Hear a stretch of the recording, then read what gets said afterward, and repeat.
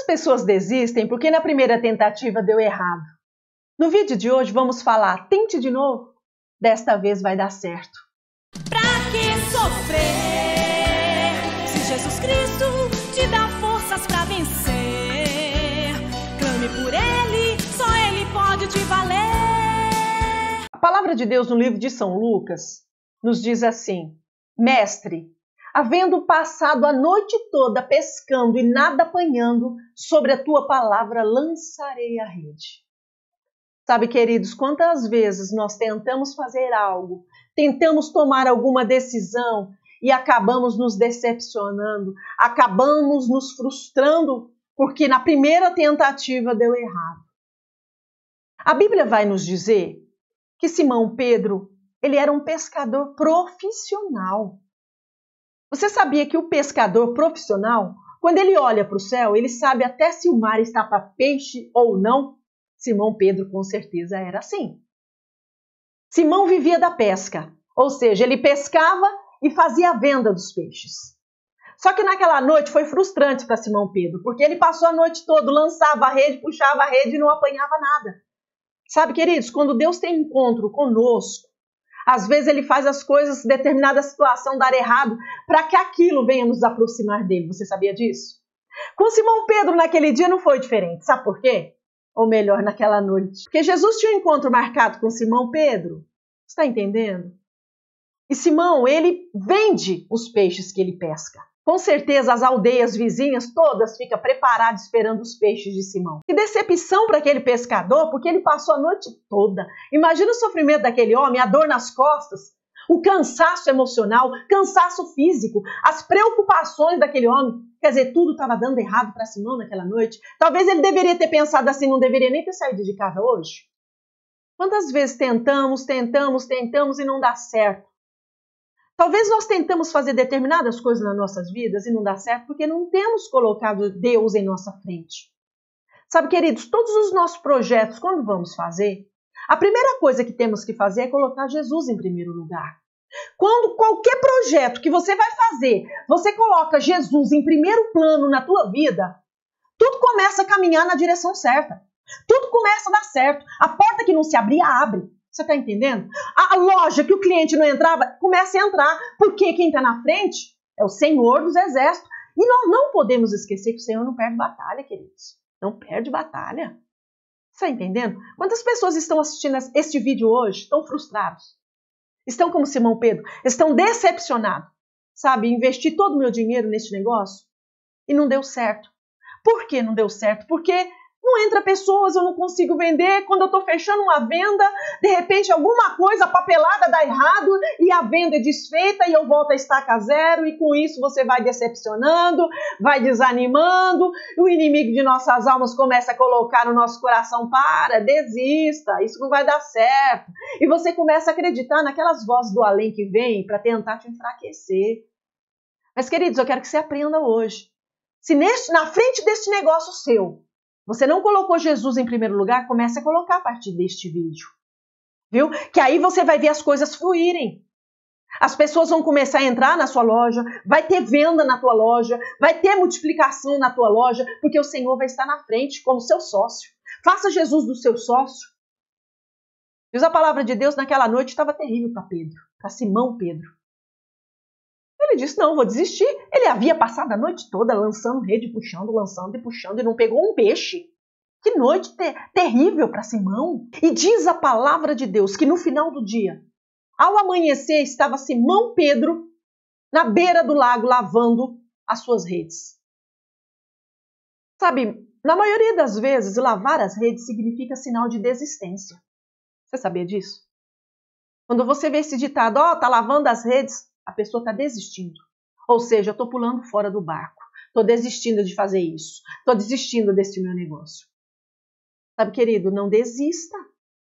Insista. Quando nós desistimos, abandonamos o barco, nós começamos a nos sentir um fracassado. E não é isso que o Senhor quer para a tua vida. Sabe, queridos, o Senhor quer que você seja abençoado em todas as áreas. O Senhor quer que você prospere. O Senhor quer que você tente de novo. Não desista. Não podemos desistir na primeira tentativa porque deu errado. Ah, deu errado, não vou mais tentar. Tenta. Tenta de novo. E diz a palavra que Simão estava lavando as redes. Tchau, vou embora. Agora, o que se passava na cabeça de Simão, pensando nos compradores dos peixes? As aldeias esperando para comprar os peixes de Simão? Não ia ter venda naquele dia? Tudo deu errado para Simão, não foi? Talvez tudo tenha dado errado na tua vida. Mas eu quero dizer para você, a partir de hoje, em nome de Jesus, o Senhor vai colocar as mãos nos seus negócios. E a partir de hoje, tudo aquilo que andava atrasado, tudo aquilo que parecia que as portas estavam fechadas, o Senhor vai fazer prosperar em nome de Jesus. É palavra profética para a tua vida, eu quero que você receba em nome de Jesus. Onde Jesus chega, o negócio começa a andar, as coisas começam a dar certo. Porque Jesus ele traz com ele a transformação. Jesus quer transformar essa tua situação aí, que para você é o fim, num novo recomeço. Jesus quer fazer isso na tua vida em nome de Jesus. Basta você dar lugar para ele fazer isso. Basta você querer a transformação. Sabe, às vezes nós esperamos a transformação do vizinho da direita, do vizinho da esquerda, fulano tem que mudar, ciclano tem, tem que mudar, meu marido tem que mudar, a minha esposa tem que mudar. Só que nós temos que entender o seguinte: a mudança real, verdadeira, tem que começar em nós. Sabe, queridos? Não adianta a esposa mudar, o esposo mudar e você não mudar. Não adianta. Quando você muda, tudo ao teu redor começa a ter mudança. Porque a mudança começa em você. Você está entendendo? Jesus, onde ele chega, ele chega para mudar, ele chega para transformar. Sabe? Reconheça que você precisa de mudança hoje. Diga, Senhor, eu preciso de mudança na minha vida. E o Senhor vai entrar na tua vida com a transformação, com o renovo, com a mudança. E a partir do momento que você ser mudado, pode ter certeza que ao teu redor as coisas vão começar a fluir. Naquele dia o Senhor tinha um encontro real com Simão Pedro. Algo novo Jesus queria fazer na vida de Simão. Está entendendo? Jesus hoje está chegando na tua casa para fazer algo novo na tua vida. E diz a palavra de Deus. E Jesus entrou no barco de Simão e Simão se afastou. Simão poderia olhar e dizer assim: Ó, oh, Jesus, desculpa, estou cansado. Não dá para eu fazer isso porque eu quero ir embora. Eu tenho que noticiar os, o, o povo da aldeia que não vai ter peixe lá hoje. Mas diz a palavra de Deus que sem uma palavra, Simão subiu no barquinho e foi com Jesus para o meio do lago. E lá do meio do lago, Jesus começou a pregar. Eita Deus! A palavra de Deus no livro de Romanos, ela diz assim: a fé vem pelo ouvir, o ouvir da palavra de Deus. Quando ouvimos a palavra, algo novo transforma nas nossas vidas, porque a fé ela vem pelo ouvir, a fé é gerada. E ali Simão ficou ouvindo, ouvindo, ouvindo a palavra. Terminando Jesus de pregar, ele disse: Olha, vai para aquele outro lado. Ele olhou, havendo trabalhado a noite toda, mestre e nada apanhando. Sobre a tua palavra lançarei a rede. Vou traduzir. Mestre, havendo trabalhado toda a noite, nada apanhando, sobre o que eu ouvi, dos seus testemunhos, daquilo que você falou, eu vou lançar minha rede sobre a tua palavra, sobre o que eu ouvi. Aleluias. Queridos, para surpresa de um pescador profissional, quando lançou a rede, quase que foi a pique o seu barquinho. Por quê? Porque foi muito peixe. Simão teve que pedir ajuda. Eita Deus! O profissional teve que pedir ajuda. Sabe o que, que me faz entender isso, irmãos? Não adianta você ter experiência, não adianta você saber o que você está fazendo, não. Eu tenho anos de, de loja, eu mexo com lojas há anos. Não adianta experiência, não adianta quadro na parede, não adianta estudo. Se você não tiver a presença de Deus, Nada vai fazer a diferença na tua vida. O que vai fazer a diferença não são seus estudos, suas experiências. O que vai fazer a, a diferença no teu negócio, na, na tua vida, no teu casamento, é a presença de Jesus. Simão era profissional em pesca. Mas a profissão, ou melhor, a experiência de Simão naquele momento não valeu de nada. O que valeu ali, a diferença na vida de Simão, foi Jesus chegar na história. Foi Jesus entrar. Foi, a, foi ou melhor, traduzindo, foi a presença de Jesus. Eita Deus. Meu irmão, quer ter uma vida transformada? Quer ter uma vida mudada? A presença de Jesus tem que fazer parte da tua vida. Está entendendo? A presença de Jesus tem que chegar na tua história. Ô meu irmão, receba essa palavra para o teu coração. Hoje eu digo para você, tentou, tentou, tentou, não conseguiu, deu errado. Tenta de novo. Não desista. Viu? Quem sabe não falta a presença de Jesus aí, no seu estabelecimento? Hã? Quem sabe? A presença de Jesus chega, muda.